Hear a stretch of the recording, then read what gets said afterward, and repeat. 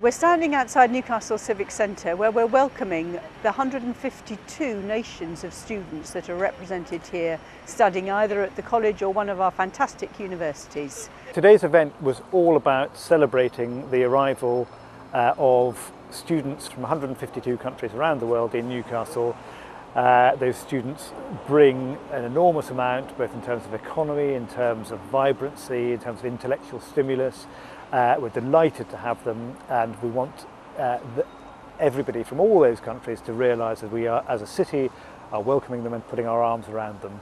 So I was really happy to come here and start my new life in a brilliant university full of opportunities.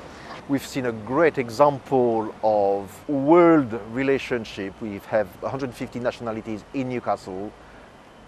Some of them were here today. I understand we're going to fly all those flags over the next three weeks. It's a great opportunity to show the world what Newcastle can do.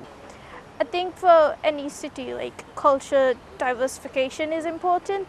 There's a lot of students around, which is, makes it also easier for international students to move here.